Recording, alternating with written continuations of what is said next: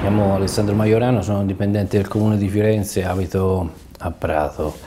Quello che sto tentando di far emergere da diversi anni è la vera figura di Matteo Renzi. Matteo Renzi il 30 di agosto 2013 mi denuncia, io mi reco in eh, procura il 5 dicembre a ritirare gli atti e dagli atti vedo come grande sorpresa Matteo Renzi alla residenza su anagrafia, non all'interno del suo familiare, ma bensì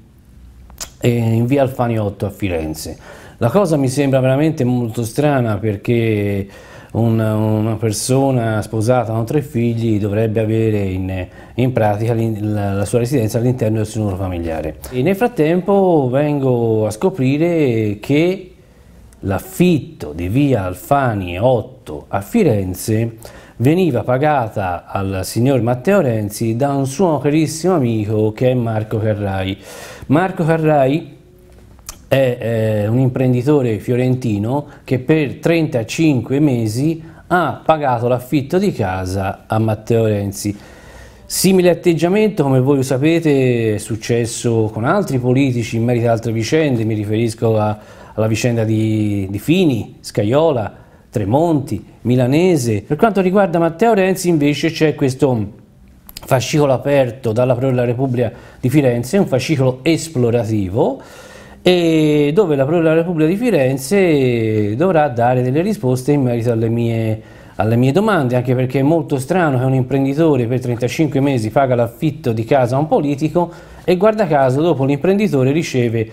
per lui e per alcuni suoi parenti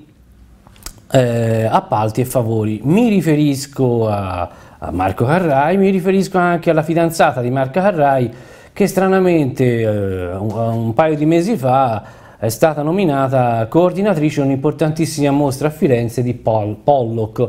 senza che ne abbia secondo me i, i requisiti. Premier Renzi mi ha querelato in relazione a un presunto 595 in merito a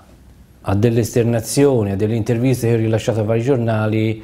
in, eh, in, merito a delle spese folli che Matteo Renzi ha fatto sia ai tempi della provincia, sia ai tempi della Flores Multimedia eh, e sia anche in altre, in altre situazioni. La storia in sintesi è questa, 30 di agosto 2013 Matteo Renzi mi, mi querela per eh, diffamazione, sono stato rinviato a giudizio dalla Procura della Repubblica di Firenze perché io avrei esternato la frase eh, Renzi ha dilapidato 20 milioni di euro eh, soldi dei contribuenti. In più avrei fatto alcune magliette con la scritta appunto eh, Renzi ha dilapidato 20 milioni di euro dei cittadini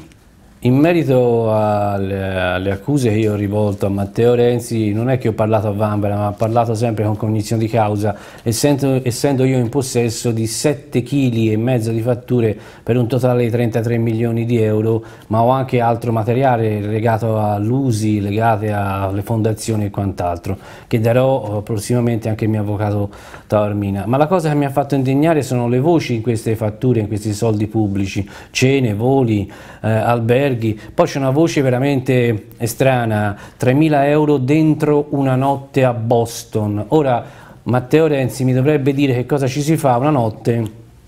a Boston con 3.000 euro e soprattutto chi ci si paga e cosa ci si paga. Ma anche su questa cosa Matteo Renzi ha sempre fatto come di solito fa lui, scappa. Cortesemente Matteo Renzi Premier, mi vuoi dire con quei 3.000 euro quella notte a Boston chi ci hai pagato?